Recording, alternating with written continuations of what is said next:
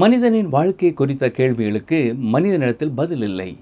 மனிதன் பூமியின் ஈர்ப்பு விசையை தாண்டி பல மைல் தூரம் சென்றாலும் மனிதனின் வாழ்க்கை பிரச்சனைக்கு மனிதனிடத்தில் பதில் இல்லை.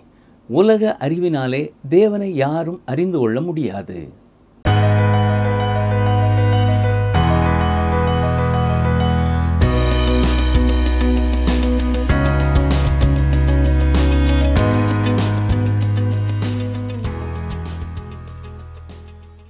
அப்போஸ்தலனாகிய பவுல் கொரிந்து சபையாருக்கு எழுதின முதலாவது கடிதத்தை ஆர்வத்தோடு கற்றுவரும் வேத ஆராய்ச்சி நேயர்களை இயேசு கிறிஸ்துவின் இனிய நாமத்தினாலே வாழ்த்தி வரவேற்கிறோம்.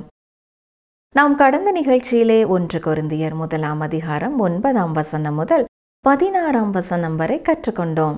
அந்த பாடத்திலே ஞான ஸ்நானம் உங்களை ரட்சிக்காது இயேசு கிறிஸ்துவின் மேல் வைக்கும் விசுவாசமே உங்களை ரட்சிக்கும் என்றும் தனி மனிதர்களுடைய வாழ்க்கையிலேயும் குடும்பங்களிலேயும் திருச்சபைகளிலேயும் இருக்கிற எல்லா பிரச்சனைகளுக்கும் ஒரே பரிகாரம் ஆண்டவராகிய இயேசு கிறிஸ்து என்றும் கற்றுக்கொண்டோம்.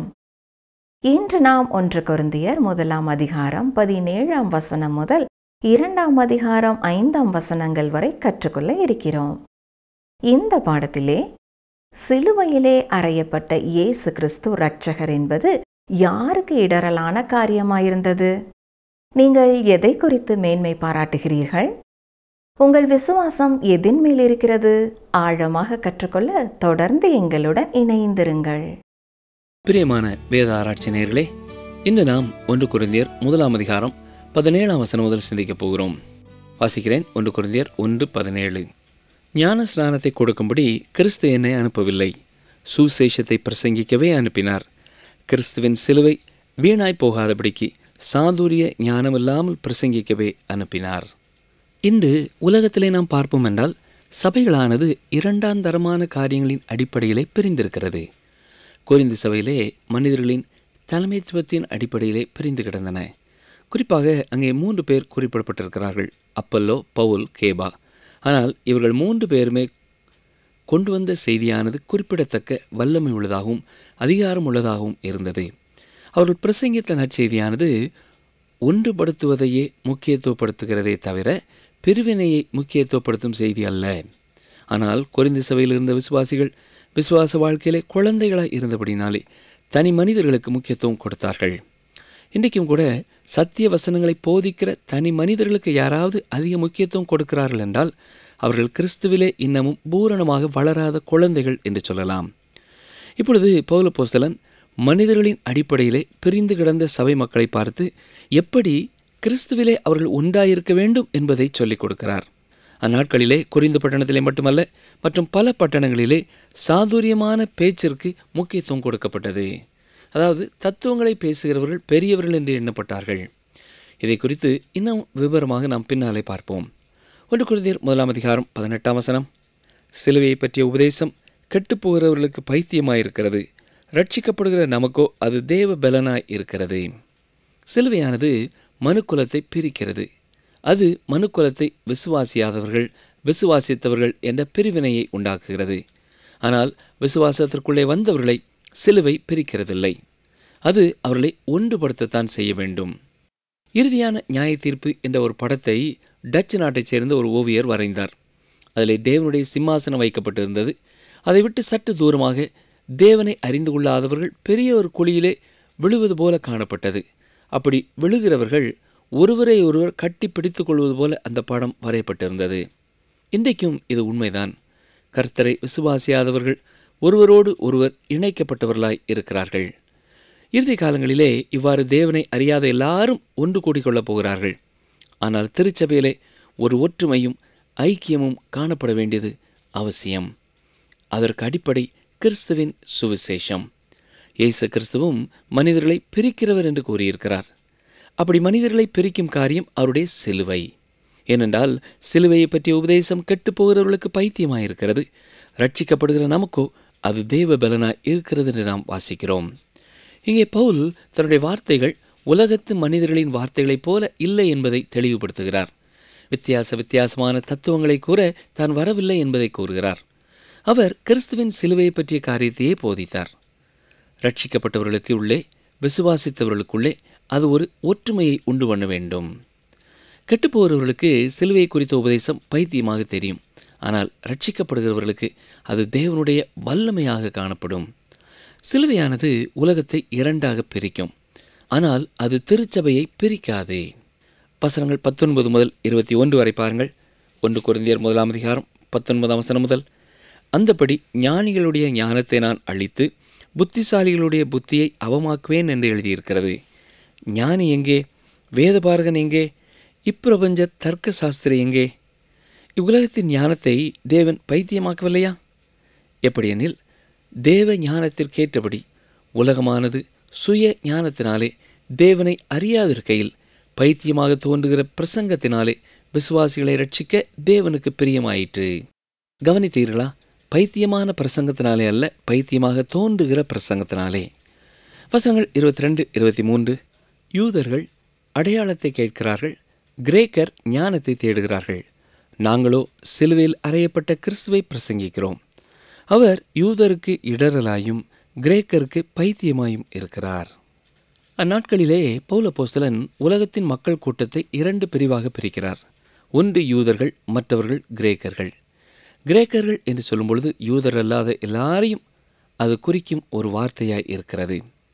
யூதர்கள் என்று குறிப்பிடும் பொழுது அவர்கள் தேவனால் கொடுக்கப்பட்ட ஒரு சமயத்தை உடையவர்கள் என்று கூறுகிறார். யூதர்கள் தங்களிடத்திலே சத்தியம் இருந்தது என்று எண்ணினார்கள். அது உண்மைதான். அவர்களிடத்திலே சத்தியம் இருந்தது ஏனென்றால் அவர்களிடத்திலே பழைய ஏற்பாடு இருந்தது. ஆனால் பிரச்சனை என்னவென்றால் அது வெறும் சடங்காச்சாரமாகவே அவர்களிடத்தில் இருந்தது. அவர்கள் கர்த்தருடைய வார்த்தைகளை விட்டு விலகி சமய சடங்குகளுக்கு அடிமைகளாகிவிட்டார்கள். வேத வசனத்திற்கு முக்கியத்துவம் கொடுப்பதை விட வேத வசனத்தின் விளக்கமாக உருவான சடங்காச்சாரங்களுக்கு முக்கியத்துவம் கொடுத்தார்கள். எனவே அங்கே வல்லமை இல்லை. எனவேதான் இயேசு கிறிஸ்து உலகத்திலே மனிதனாய் வந்து தோன்றிய பொழுது அவரிடத்திலேயே அடையாளத்தை கேட்கிறார்கள். கர்த்தருடைய வார்த்தைகளுக்கு நேராய் அவர்கள் திரும்புவதற்கு பதிலாக தங்களுக்கு ஒரு அடையாளம் காண்பிக்கப்பட வேண்டும் என்றார்கள். கவனிங்கள் வாசிக்கிறேன். மத்திய பன்னிரெண்டாம் அதிகாரம் முப்பத்தி எட்டு முதல் நாற்பது வரை. அப்பொழுது வேத பாரகரிலும் பரிசேரிலும் சிலர் அவரை நோக்கி போதுகிறே உம்மால் ஒரு அடையாளத்தை காண விரும்புகிறோம் என்றார்கள். அவர்களுக்கு அவர் பிரதித்திரமாக இந்த பொல்லாத விபச்சார சந்ததியார் அடையாளத்தை தேடுகிறார்கள். ஆனாலும் யோனா தீர்க்கத்தரசின் அடையாளமே அன்றி வேறே அடையாளம் இவர்களுக்கு கொடுக்கப்படுவதில்லை. யோனா இரவும் பகலும் மூன்று நாள் ஒரு பெரிய மீனின் வயிற்றில் இருந்தது போல மனுஷகுமாரனும் இரவும் பகலும் மூன்று நாள் பூமியின் இருதயத்தில் இருப்பார். இயேசு கிறிஸ்து உயிர்த்தெழுதலை அவர்களுக்கு அடையாளமாய் கொடுத்தார். கிரேக்கர்கள் எல்லாருமே யூதர்கள் அல்லாத புறஜாதியான மக்கள் என்று சொல்லலாம். அவர்கள் ஞானத்திற்கு அடையாளமாய் இருக்கிறார்கள் அவர்கள் ஞானத்தை நேசித்தவர்கள். அவர்கள் தாங்கள் சத்தியத்தை தேடுகிறோம் என்று சொன்னார்கள். ஆனால் இந்த உலகத்திலே தான் அவர்கள் சத்தியத்தை தேடினார்கள். எதற்குமே ஒரு காரணம் இருக்க வேண்டும். ஒரு விளைவு இருக்க வேண்டும் என்று அவர்கள் எண்ணிக்கொண்டிருந்தார்கள். இப்படிப்பட்ட வேளையிலே யூதர்கள் வெறும் சடங்காச்சாரங்களுக்குள்ளே கடந்து சென்று விட்டார்கள். இயேசு கிறிஸ்து இந்த உலகத்திலே தோன்றுவதற்கு நானூறு ஆண்டுகளுக்கு முன்னதாக உலகத்திலே பார்க்கும் பொழுது கிரேக்கர்கள் மிக ஞானமுள்ளவர்களைப் போல உலகத்திலே பிரகாசித்துக் கொண்டிருந்தார்கள். தொடர்ந்து சுமார் முன்னூறு ஆண்டுகள் அவர்களுடைய புகழ் உலகத்திலே விளங்கியது. இயேசு கிறிஸ்து வந்தபொழுது கிரேக்கர்களின் மகிமை போய்விட்டது. இதற்கு முன் காலம் வரைக்கும் சாக்ரட்டிஸ் பிளேட்டோ அரிஸ்டாட்டில் போன்ற பலர் தத்துவ பள்ளிகளை வைத்திருந்தார்கள். ஆனால் அதெல்லாம் மறைந்து போயிற்று. சுமார் இரண்டாயிரம் ஆண்டுகளாக தத்துவம் இருந்த இடம் தெரியாமல் மறைந்திருந்தது. பின்னர் பெக்கான் ஹோப்ஸ் மற்றும் டெஸ்கரட்ஸ் என்ற சிந்தனையாளர்கள் சில காலமாய் தோன்றியிருந்தார்கள். பிலாத்து ஏசு கிறிஸ்துவை பார்த்து சத்தியம் என்றால் என்ன? என்று கேட்டான். பேக்கன் என்பவரும் இதே கேள்வியை கேட்டார். தத்துவமானது இன்றைக்கும் இதே கேள்வியை கேட்டுக்கொண்டு இருக்கிறது மனிதனுடைய வாழ்க்கையின் கேள்விகளுக்கு தத்துவத்தினிடத்திலே பதில் இல்லை. ஞானிகள் எங்கே? வேதபாரர் எங்கே? இந்த உலகத்திலே பிரச்சனைகளை தீர்க்கக்கூடியவர் யார்? உலகத்தின் ஞானத்தை தேவன் பைத்தியமாக்கிவிட்டார். தத்துவம் என்றால் என்ன என்பதை குறித்து ஒருவர் விளக்கம் சொல்லும் பொழுது பார்வையற்ற ஒரு மனிதன் இருளான ஒரு அறையிலே அங்கே இல்லாத ஒரு கருப்பு பூனையை தேடுவதற்கு ஒப்பாய் இருக்கிறது என்று கூறியிருக்கிறார். கிரேக்கர்கள் ஞானத்தை விரும்பினார்கள். இன்றைக்கு பலர் வாழ்க்கையின் கேள்விகளுக்கான விடையை விஞ்ஞானத்திலோ அல்லது ஒரு சூத்திரத்திலோ கண்டுகொள்ளலாம் என்று எண்ணுகிறார்கள். அருமையானவர்களே மனிதனுடைய வாழ்க்கை குறித்த கேள்விகளுக்கு மனிதனிடத்திலே பதில் இருக்கிறதென்று நீங்கள் எண்ணுகிறீர்களா? மனிதன் பூமியின் ஈர்ப்பு விசையை தாண்டி பல மைல் தூரம் சென்றாலும் மனிதனுடைய வாழ்க்கை பிரச்சனைகளுக்கு அவனிடத்திலே பதில் இல்லை. உலகத்தின் ஞானத்தினாலே தேவனை அறிந்து கொள்ள முடியாது. விசுவாசிக்கிறவர்களை ரட்சிக்கும்படியாக பிரசங்கத்தை தேவன் பயன்படுத்த சித்தமானார். அதுதான் தேவனுடைய ஞானம் என்று ஒருவர் கூறியிருக்கிறார். சரி ஒன்று குறைந்தர் முதலாம் அதிகாரம் இருபத்தி மூன்றாம் வசனத்தை பாருங்கள். நாங்களோ சிலுவையில் அறையப்பட்ட கிறிஸ்துவை பிரசங்கிக்கிறோம். அவர் யூதருக்கு இடரலாயும் கிரேக்கருக்கு பைத்தியமாயும் இருக்கிறார். இங்கே கவனித்தீர்களா? யூதர்களுக்கு சிலுவை என்பது ஒரு இடையூறான காரியமாய் காணப்படுகிறது. அவர்கள் ஒரு அடையாளத்தை தேடினார்கள். யாராவது ஒருவர் அவர்களுக்கு வழிகாட்ட வேண்டும் என்று நினைத்தார்கள். அதாவது பெரும் பாதைகளிலே இருக்கிற பேர் பலகைகளைப் போல வெளிப்படையாக விளக்க வேண்டும் என்று எண்ணினார்கள். ரோம அதிகாரத்தை கீழ்ப்படுத்தும் ஒருவரை அவர்கள் ஏற்றுக்கொண்டிருப்பார்கள். ஆனால் சிலுவையிலே அறையப்பட்ட இயேசு மெய்சியா அல்லது இரட்சகர் என்பது அவர்களுக்கு இடரலான ஒரு காரியமாய் இருந்தது. இயேசு கிறிஸ்து சிலுவையிலே மறித்தது ஒரு தோல்வியைப் போல அவர்களுக்கு தெரிந்தது. ஒரு வெற்றியைப் போல அது அவர்களுக்கு காணப்படவில்லை. எனவேதான் அவர்கள் அதை ஏற்றுக்கொள்ள விரும்பவில்லை. ரோமர் ஒன்பதாம் அதிகாரம் முப்பத்தி மூன்றாம் வசனத்தை வாசிக்கிறேன். இதோ இடறுதற்கான கல்லையும் தவறுதற்கான கண்மலையையும் சீயோனில் வைக்கிறேன். அவரிடத்தில் விசுவாசமாயிருப்பவன் எவனோ அவன் வெட்கப்படுவதில்லை என்று எழுதியிருக்கிறபடி ஆயிற்று. அது மட்டுமல்ல பேதர் என்ன எழுதியிருக்கிறார்? ஒன்று பேதர் இரண்டாம் அதிகாரம் ஏழாம் எட்டாம் வசனங்கள். ஆகையால் விசுவாசிக்கிற உங்களுக்கு அது விலையேற பெற்றது. கீழ்ப்படியாமல் இருக்கிறவர்களுக்கோ வீட்டை கட்டுகிறவர்களால் தள்ளப்பட்ட பிரதான மூளைக்கல்லாகிய அந்த கல் இடறுதற்கேதுவான கல்லும் விழுதற்கேதுவான கண்மலையும் ஆயிற்று. அவர்கள் திருவசனத்திற்கு கீழ்ப்படியாதவர்களாய் இருந்து இடறுகிறார்கள். அதற்கென்றே நியமிக்கப்பட்டவர்களாயும் இருக்கிறார்கள்.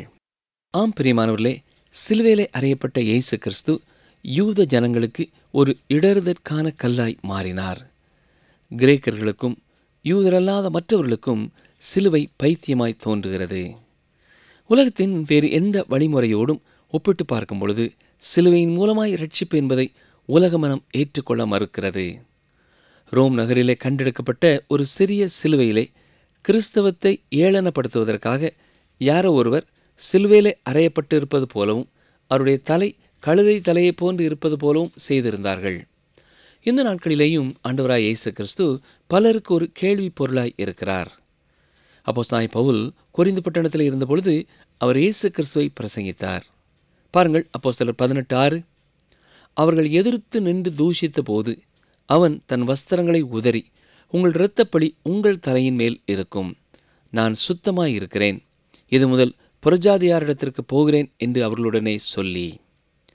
இந்த உலகத்தின் குழப்பமான சூழ்நிலையில் இருந்து தத்துவம் மனிதனை வெளியே எடுக்க முடியுமா? இல்லை ஒரு காலம் முடியாது. நன்றாக கவனியுங்கள் பைத்தியமாக தெரிகிற பிரசங்கத்தினாலே மனிதன் ரட்சிக்கப்படவில்லை. பைத்தியமாக தோன்றுகிற சிலுவையை குறித்த பிரசங்கமே மனிதனை ரட்சிக்கிறது. பிரசங்கிப்பதை அவர்கள் பைத்தியமாக எண்ணுகிறதில்லை. அந்த செய்தியையே பைத்தியமாக எண்ணுகிறார்கள். இன்றைக்கும் மனிதர்கள் அதை புறக்கணிக்கிறார்கள். இன்றைக்கு மனிதனுடைய ஞானம் எதை சொல்கிறது உலகத்திலே பசி பட்டினி இல்லாமல் இருப்பதற்கான திட்டத்தை சொல்ல முயல்கிறது. அல்லது கல்வியின் மூலமாக மனிதனுடைய பிரச்சனைகளுக்கு தீர்வு காண முற்படுகிறார்கள். நிகழ்ச்சி கேட்டுக்கொண்டிருக்கிற அருமையான சகோதரனை சகோதரியே இன்றைக்கு மனுக்குலத்திற்கு தேவை நற்செய்தி. உலகத்தின் ஞானம் ஒருபொழுதும் இதை குறித்து சிந்திக்கிறதில்லை. அப்போஸ்தாய் பவுல் மற்றொரு கூட்ட மக்களை பற்றி சொல்கிறார். அவர்கள் யூதரிலேயும் கிரேக்கரிலேயும் இருந்து அழைக்கப்பட்டவர்கள். அவர்கள் அழைப்பை கேட்டது மட்டுமல்ல அதற்கு செவி கொடுத்தவர்கள். கிறிஸ்துவின் சிலுவையிலே தேவனுடைய ஞானத்தையும் வல்லமையையும் அவர்கள் கண்டு கொண்டு விட்டார்கள். அது அவருடைய வாழ்க்கையை மாற்றியமைக்கிறது. அவர்களை புதிய மனிதர்களாக்குகிறது. இயேசு கிறிஸ்து பதினோரு மனிதர்களை பக்குவப்படுத்தினார். பின்னர் தரிசு பட்டணத்து சவுலையும் அவர் அழைத்தார். அவர்களை அவர் அனுப்பினார். அவர்கள் பாவத்தில் இருந்த கொரிந்து பட்டணத்திற்கும் நற்செய்தி கொண்டு சென்றார்கள். எபேசுவுக்கும் அதன் பலவிதமான சமய பழக்க வழக்கங்களின் மத்தியிலேயும் சுசேஷத்தை எடுத்துச் சென்றார்கள். இப்பொழுது கடந்த இரண்டாயிரம் ஆண்டுகளாக சுவிசேஷம் உலகமெங்கும் கடந்து செல்கிறது. அது ஒன்றே மனிதனுக்கு நம்பிக்கையை ஊட்டக்கூடியது. அது ஒன்றே மனுக்குலத்திற்கு உதவி செய்யக்கூடியது. பாருங்கள் ஒன்று குறைந்தர் முதலாம் அதிகாரம் இருபத்தி நாலு முதல் இருபத்தி ஆறு வரை வாசிக்கிறேன். ஆகிலும் யூதரானாலும் கிரேக்கரானாலும் எவர்கள் அழைக்கப்பட்டிருக்கிறார்களோ அவர்களுக்கு கிறிஸ்து தேவ பலனும் தேவ ஞானமுமாய் இருக்கிறார். இந்தபடி தேவனுடைய பைத்தியம் எனப்படுவது மனுஷருடைய ஞானத்திலும் அதிக ஞானமாய் இருக்கிறது. தேவனுடைய பலவீனம் எனப்படுவது மனுஷருடைய பலத்திலும் அதிக பலமாய் இருக்கிறது. எப்படியெனில் சகோதரரே நீங்கள் அழைக்கப்பட்ட அழைப்பை பாருங்கள். மாம்சத்தின்படி ஞானிகள் அநேகர் இல்லை வல்லவர்கள் அநேகர் இல்லை பிரபுக்கள் அநேகர் இல்லை இன்றைக்கு சிலர் விளையாட்டுத் துறையிலேயோ தொழில் அதிபர்கள் மத்தியிலேயோ அரசாங்கத்தின் பிரதானமாக இருக்கிறவர்கள் மத்தியிலேயோ இயேசு கிறிஸ்துவை ஏற்றுக்கொண்டவர்களுக்கு மிக அதிக முக்கியத்துவம் கொடுக்க முற்படுகிறார்கள். ஆனால் தேவன் சாதாரண மனிதர்களை முக்கியத்துவப்படுத்துகிறார். என்னைப் போல உங்களைப் போல சாதாரணமானவர்களை அவர் அழைக்கிறார். ஒன்று குறைந்தர் முதலாம் அதிகாரம் இருபத்தி ஏழாம் வசனம். ஞானிகளை வெட்கப்படுத்தும்படி தேவன் உலகத்தில் பைத்தியமானவைகளை தெரிந்து கொண்டார். பலமுள்ளவைகளை வெட்கப்படுத்தும்படி தேவன் உலகத்தில் பலவீனமானவைகளை தெரிந்து கொண்டார். இவ்வாறு கூறுவதனாலே மனிதர்கள் பைத்தியமானவர்கள் என்று பொருள் அல்ல. இதன் பொருள் என்னவென்றால் அவர்கள் உலகத்திற்கு பைத்தியமாக தோன்றுகிறார்கள். அவர்கள் பலவீனமானவர்கள் அல்ல. உலகத்தின் கணிப்பிற்கு அவர்கள் பலவீனமானவர்கள். இதுதான் தேவனுடைய வழிமுறை. அவர் மிக அடிமட்டத்தில் உள்ள ஒருவரை கூட தெரிந்து கொள்ள முடியும். ஒன்று குருந்தியர் ஒன்று இருபத்தி எட்டு இருபத்தி ஒன்பதாம் வசனங்கள். உள்ளவைகளை அவமாக்கும்படி உலகத்தின் இழிவானவைகளையும் அற்பமாய் எண்ணப்பட்டவைகளையும் இல்லாதவைகளையும் தேவன் தெரிந்து கொண்டார். மாம்சமான எவனும் தேவனுக்கு முன்பாக பெருமை பாராட்டாதபடிக்கு அப்படி செய்தார். அன்பானவர்களே இதிலே நாம் மகிமைப்பட்டுக் கொள்வதற்கு ஒன்றுமில்லை. ஒன்று குருந்தியர் முதலாம் அதிகாரம் முப்பது முப்பத்தி ஓராம் வசனங்களை பாருங்கள். அந்தபடி நீங்கள் அவராலே கிறிஸ்து இயேசுக்குட்பட்டிருக்கிறீர்கள் எழுதியிருக்கிறபடி மேன்மை பாராட்டுகிறவன் கர்த்தரை குறித்தே மேன்மை பாராட்டத்தக்கதாக. அவரே தேவனால் நமக்கு ஞானமும் நீதியும் பரிசுத்தமும் மீட்புமானார். நம்முடைய எல்லா தேவைக்கும் அவரே போதுமானவராயிருக்கிறார். இதை நீங்கள் எப்படியாவது அறிந்து கொள்ள வேண்டும். அவரே நமக்கு ஞானமாயிருக்கிறார். அவரே நம்முடைய நீதியாயிருக்கிறார். அவரே நம்முடைய மீட்பராயிருக்கிறார். அவரே நம்மை பரிசுத்தப்படுத்துகிறவராயும் இருக்கிறார். இன்று உங்களுக்கு எந்த ஒரு காரியம் தேவையானதாக இருந்தாலும் அதை நீங்கள் அவரிடத்திலே கண்டுகொள்ள முடியும். நாம் மேன்மை பாராட்டுவது கர்த்தரை குறித்தே மேன்மை பாராட்ட வேண்டும். உங்களிடத்திலே ஒரு கேள்வி கேட்க விரும்புகிறேன். நீங்கள் எதை குறித்து மேன்மை பாராட்டுகிறீர்கள்? நீங்கள் பெற்றுக்கொண்ட பட்டங்களை குறித்து பெருமையோடு இருக்கிறீர்களா? அல்லது உங்கள் ஞானத்தை குறித்து பெருமையோடு இருக்கிறீர்களா? அல்லது உங்களுக்கு இருக்கிற செல்வத்தை குறித்து பெருமைப்பட்டுக் கொள்கிறீர்களா? அல்லது உங்களுக்கு இருக்கிற அதிகாரத்தை குறித்து பெருமை இருக்கிறதா? இல்லை என்றால் உங்களுக்கு கொடுக்கப்பட்டிருக்கிற நிலைமையை குறித்தோ அல்லது உங்கள் குணநலனை குறித்தோ நீங்கள் பெருமை உள்ளவர்களாக இருக்கிறீர்களா? பிரியமானவர்களே நீங்கள் பெருமைப்பட்டுக் கொள்வதற்கு உங்களிடத்திலே ஒன்றும் இல்லை. நான் பெருமைப்பட்டுக் கொள்வதற்கு என்னிடத்திலேயும் ஒன்றும் இல்லை என்பது எனக்கு தெரியும். ஆனால் நாம் கிறிஸ்துவை குறித்து மேன்மை பாராட்டலாம். அவரே எல்லாவற்றிற்கும் எல்லாமாய் இருக்கிறார். நம்முடைய எல்லா தேவைகளையும் நாம் அவரிடத்திலே நிறைவாக பெற்றுக்கொள்ள முடியும். எனவே நம்முடைய வாழ்க்கையிலே உலக பிரகாரமான எந்த காரியத்தை குறித்தும் நாம் மேன்மை பாராட்டாமல் கருத்தரிடத்திலே நமக்கு கிடைக்கிற சகல ஆசீர்வாதங்களையும் குறித்தே நாம் மேன்மை பாராட்டுவது அவரை மகிமைப்படுத்துவது சிறந்தது. இப்பொழுது நாம் ஒன்று குருந்தியர் இரண்டாம் அதிகாரத்தை பார்க்க போகிறோம். ஒன்று குருந்தியர் இரண்டு ஒன்று வாசிக்கிறேன்.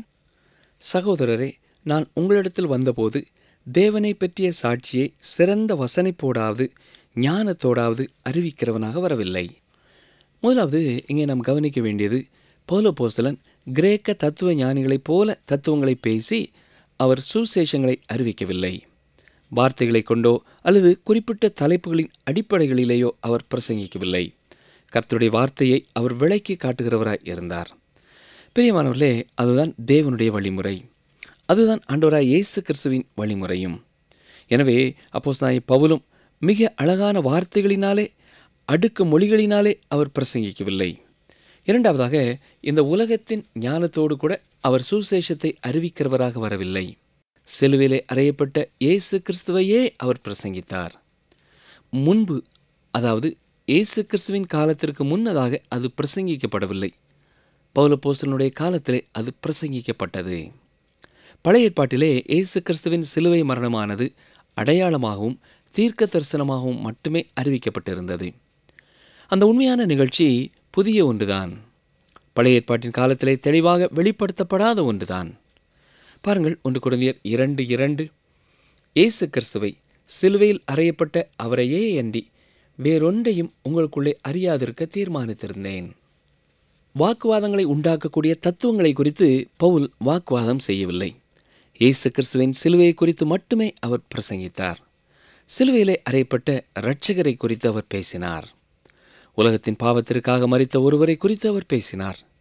இன்றைக்கும் பிரியமானவர்களே அப்படிப்பட்ட ஒரு ஊழியம்தான் தேவையானதாய் இருக்கிறது. ஒன்று குழந்தையர் இரண்டாம் அதிகாரம் மூன்றாம் வசனம். அல்லாமலும் நான் பலவீனத்தோடும் பயத்தோடும் மிகுந்த நடுக்கத்தோடும் உங்களிடத்தில் இருந்தேன். அப்போஸ் நாய் பவுல் தனது இருதயத்தை திறந்து அவருடைய உள்ளத்தின் ஆழத்திலே இருந்த எண்ணத்தை குறித்து அவர் வெளிப்படுத்துகிறார். குறைந்த சபையின் மத்தியிலே அவர் இருந்த பொழுது அவருடைய மனம் எவ்வளவு அசைக்கப்பட்டதாக இருந்தது என்பதை தெளிவுபடுத்துகிறார். பலவீனத்தோடு நடுக்கத்தோடு அவர் இருந்திருக்கிறார். எனவே தான் மிக தெளிவாக தேவன் உலகத்திலே பலவீனமானவைகளையே தனக்கென்று தெரிந்து கொண்டார் என்று தைரியமாக சொல்கிறார் போலப்போஸ்தலனுக்கு தன்னை குறித்த எந்த ஒரு பெருமையான எண்ணமும் கிடையாது. இருந்தாலும் அவர் மிக ஞானம் உள்ளவர் பல வகைகளிலே மிகச் சிறந்தவர். ஆனால் ஒரு சமயத்திலேயும் தன்னை குறித்தவர் பெரிதாக எண்ணவே இல்லை. ஒன்று குழந்தையர் இரண்டாம் அதிகாரம் நாலாம் வசனம் பாருங்கள். உங்கள் விசுவாசம் மனுஷருடைய ஞானத்தில் அல்ல தேவனுடைய பலத்தில் நிற்கும்படிக்கே. நம்முடைய இந்த நாட்களிலே அநேக பிரசங்கிக்கும் பொழுது அதிலே மனித ஞானத்தை நீங்கள் பார்க்கலாம். ஆனால் ஆவியானவருடைய செயல்பாட்டையோ ஆவியானவருடைய வல்லமையையோ அங்கே காண முடியவில்லை. இதை பார்க்கும் பொழுது நம்முடைய உள்ளத்தில் எழும்புகிற எண்ணம் என்ன? சரியான வழிமுறை நமக்கு வேண்டுமா? அல்லது சரியான கருப்பொருள் நமக்கு வேண்டுமா? அல்லது நாம் பேசும் விதம் சரியானதாக இருக்க வேண்டுமா? என்று எண்ண தோன்றுகிறது. ஆம் பிரியமானவர்களே இன்று நாம் பிரசங்கிக்கும் பொழுது பரிசுத்த ஆவியானுடைய வல்லமை நம்முடைய செய்திகளிலே மிக மிக தேவையானதாய் இருக்கிறது. ஒன்று குழந்தையர் இரண்டாம் அதிகாரம் ஐந்தாம் வசனத்தை பாருங்கள். என் பேச்சும் என் பிரசங்கமும் மனுஷ ஞானத்திற்குரிய நயவசனமுள்ளதாயிராமல் ஆவியினாலும் பலத்தினாலும் உறுதிப்படுத்தப்பட்டதாய் இருந்தது. வேறு வார்த்தைகளிலே சொல்ல வேண்டுமென்றால் மனிதனை ஆதாயப்படுத்துவதற்கு மனிதனுடைய ஞானம் பயன்படுத்தப்படும் என்றால் அவருடைய விசுவாசமானது மனிதனுடைய ஞானத்திலே நிற்கிறது. ஆனால் ஒரு மனிதனை விசுவாசத்திற்குள்ளே கொண்டு வருவதற்கு தேவனுடைய வல்லமை செயல்பட்டு இருக்கும் என்றால் அவருடைய விசுவாசம் தேவனுடைய வல்லமையின் மேலே தங்கியிருக்கும். எனவேதான் வேத புத்தகம் தேவனுடைய வார்த்தை என்று நிரூபிக்கப்படுவதற்காக பேசுவதனாலே உண்டாகும் விசுவாசம் மனித ஞானத்தினாலே நிற்கிறது. ஆதியாம முதலாம் அதிகாரம் முதலாம் வசனத்திலே சொல்லப்பட்டிருப்பதை விஞ்ஞானத்தின் மூலமாக நாம் விளக்க முடியும். உண்மையாகவே பெருவெள்ளம் ஏற்பட்டிருக்கிறது என்பதையெல்லாம் விஞ்ஞானத்தின் அடிப்படையில் விளக்கலாம் என்று சிலர் கூறுகிறார்கள். என்னை தவறாக புரிந்து கொள்ள வேண்டாம். அதற்கும் ஒரு இடம் இருக்கிறது. ஆனால் வேத புத்தகம் கர்த்தருடைய வார்த்தை என்பதை நிரூபிப்பதற்காக நாம் உலக ஞானத்தை பயன்படுத்துவோம் என்றால் அது எந்த மனிதனையும் ரட்சிக்காது. இன்றைக்கு இறுதியாக ஒரு கேள்வியோடு நான் முடிக்க விரும்புகிறேன். உங்கள் விசுவாசம் எதின் மேல் இருக்கிறது? பலர் மிக திறமையாக வேத புத்தகத்திலே நடந்திருக்கிறதெல்லாம் உண்மை என்று நிரூபிப்பதற்காக பல சான்றுகளை குறித்து பிரசங்கிக்கலாம். ஆனால் உங்களுடைய விசுவாசம் தேவனுடைய வல்லமையை சார்ந்ததாக இருக்க வேண்டும். தேவன் தம்முடைய வல்லமையினாலேயே நம்மை ரட்சிக்கிறார் இயேசு கிறிஸ்து நம்முடைய பாவங்களை சிலுவையிலே சுமந்து தீர்த்தபடினாலே தேவனை நம்பி அவருடைய குமாரனாய் இயேசு கிறிஸ்து நம்முடைய இரட்சகர் என்று விசுவாசிக்கிற ஒவ்வொருவருடைய வாழ்க்கையிலையும் தேவனுடைய பலன் செயலாற்றுகிறது. பரிசுத்த ஆவியானவர் செயல்படுகிறார். இதன் விளைவாக வாழ்க்கையிலே மாற்றங்கள் காணப்படுகின்றது. அருமையான சகோதரனை சகோதரியே உலக பிரகாரமான அறிவினாலே வேத வசனங்களை நாம் எவ்வளவு அறிந்திருந்தாலும் தூய ஆவியானவர் நம்முடைய வாழ்க்கையிலே செயல்படும் பொழுது அவருக்கு நாம் கீழ்ப்படிந்து நம்மை பூரணமாய் அர்ப்பணிக்கும் பொழுது இயேசுவே என்னுடைய பாவத்தின் தண்டனையை ஏற்றுக்கொண்டார் என்று விசுவாசிக்கும் பொழுது அது நமக்கு தேவ பலனாய் இருக்கிறது. அப்படிப்பட்ட விசுவாசத்திற்குள்ளே நீங்களும் கடந்து வாருங்கள். தேவனுடைய வல்லமை பெற்றவர்களாக வாழ ஆண்டவர் உங்களையும் வழிநடத்துவார். அன்பர்களே இன்று நாம் கற்றுக்கொண்ட சத்தியங்கள் என்ன? பைத்தியமாக தெரிகிற பிரசங்கங்களினாலே மனிதன் ரட்சிக்கப்படவில்லை. சிலுவையை குறித்த பிரசங்கமே மனிதனை ரட்சிக்கிறது. கொரிந்த சபையிலிருந்த விசுவாசிகள் விசுவாச வாழ்க்கையிலே குழந்தைகளாக இருந்தபடியினாலே தனி மனிதர்களுக்கு முக்கியத்துவம் கொடுத்தார்கள். இயேசு கிறிஸ்து நம்முடைய இரட்சகர் என்று விசுவாசிக்கிற ஒவ்வொருவருடைய வாழ்க்கையிலும் தேவனுடைய பலன் செயலாற்றுகிறது. பரிசுத்த ஆவியானவர் செயல்படுகிறார். இதன் விளைவாக வாழ்க்கையிலே மாற்றங்கள் காணப்படுகிறது. மீண்டும் அடுத்த நிகழ்ச்சியிலே சந்திப்போம். கர்த்தருங்களை ஆசிர்வதிப்பாராக. உம்முடைய கூடாரம் சமாதானத்தோடு இருக்க காண்பீர். உம்முடைய வாசஸ்தலத்தை விசாரிக்கும் போது குறைவை காண மாட்டீர் யோபு ஐந்து இருபத்தி நான்கு.